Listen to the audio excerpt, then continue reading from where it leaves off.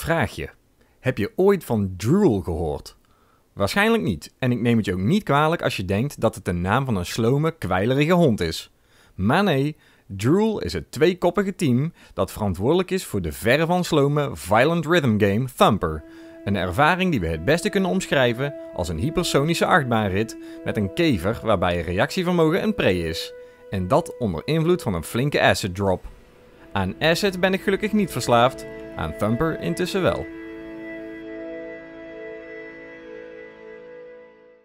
In Thumper bestuur je, zoals al gezegd, een mooi glimmend kevertje over een Hot Wheels-achtige baan, terwijl je op het ritme van de beat de nodige manoeuvres uitvoert. Hoe beter je dat doet, hoe hoger je scoren. Dit klinkt in principe heel erg eenvoudig en lijkt op papier een concept wat snel eentonig aanvoelt. Drool weet dit te omzeilen door het toevoegen van twee cruciale ingrediënten: visuele triggers en snelheid. Heel, heel veel snelheid.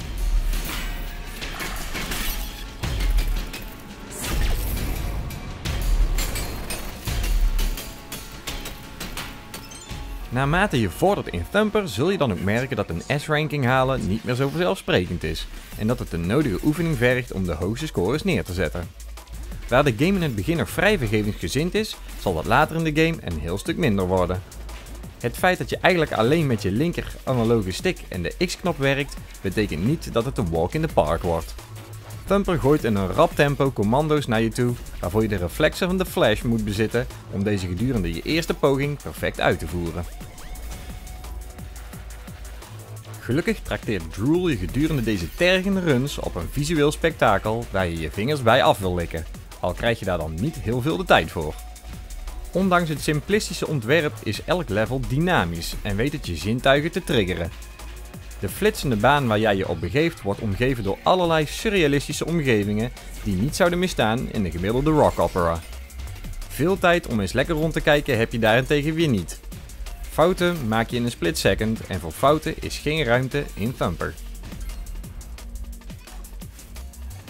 Wellicht de mooiste bijkomstigheid is de ondersteuning van de PlayStation VR, waar een game als Thumper het beste tot zijn recht komt.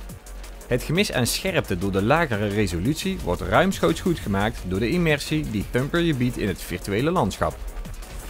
Ook hoef je je als speler geen zorgen te maken over de synchronisatie van je beeld en geluid, iets waar je sterk van afhankelijk bent.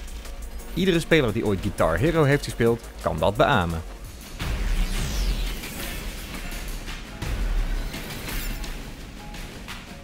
Alles bij elkaar genomen is Thumper een ultra verslavende rit, waarbij je dorst naar snelheid en uitdaging absoluut gelest worden. Thumper is easy to learn, but hard to master.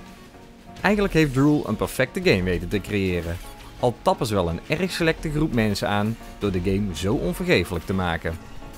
Het is dan wellicht ook het enige minpuntje wat ik kan vinden in de game. Voor de rest geef ik Drool 2 dikke duimen omhoog en 98 uit 100 punten. Voor de volledige review kun je altijd terecht op gamesensor.nl.